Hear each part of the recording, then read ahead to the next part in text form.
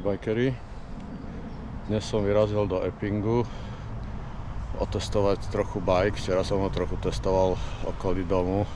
Menil som nejaké komponenty, kazetu, prevodník, hanger, prehadzovačky, lanka a také veci. Tak som to prišiel otestovať sem poriadne pretože budúci víkend by som sa chcel vybrať buď do Surrey Hill alebo do Swinley Forest. Uvidím ešte kam. Takže dneska si tu idem zajazdiť, niečo skočiť.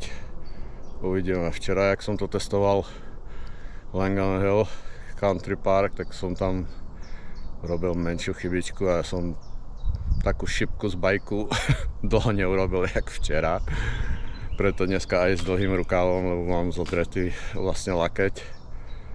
Tak poďme na to no.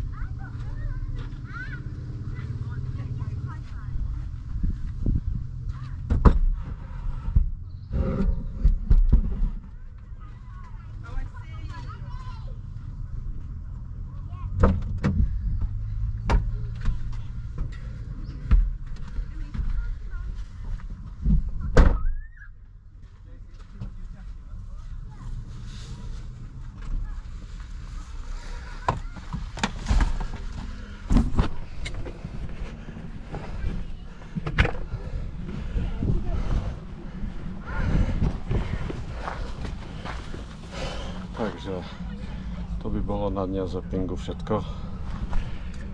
Budúci víkend uvidím, no, či sa vyberem do Surrey Hill alebo do Svinu, Swinley Forest. Ťažko. Uvidím, rozhodnem sa v piatok, že kam sobotu vyrazím. Zajazdil som si super, komponenty držia, šlape to jak hodinky. Takže som spokojný. Uvidíme sa pri ďalšom videu. Čaute bajkery.